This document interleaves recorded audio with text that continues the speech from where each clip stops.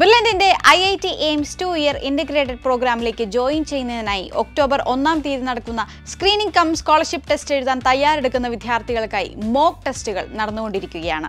രണ്ടാമത്തെ mock test August ഇരുപത് ഞായറാഴ്ച ഉച്ചയ്ക്ക് രണ്ട് മണി മുതൽ വൈകുന്നേരം എട്ട് മുപ്പത് വരെയാണ് സമയം ഉണ്ടാവുക. രണ്ട് മണിക്കൂർ ദൈർഘ്യത്തിലാണ് exam നടത്തപ്പെടുക. Admissions dot brilliant dot Pala dot O R G എന്ന ലിങ്കിലൂടെ നിങ്ങളുടെ സ്റ്റുഡന്റ് ഐ ഡിയും പാസ്വേഡും യൂസ് ചെയ്ത് നിങ്ങൾക്ക് ഈ ഒരു എക്സാമിലേക്ക് ലോഗിൻ ചെയ്യാവുന്നതാണ്.